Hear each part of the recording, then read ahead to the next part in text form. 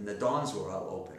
So, were you allowed to go into the dorms? Sure, yes, I believe we were.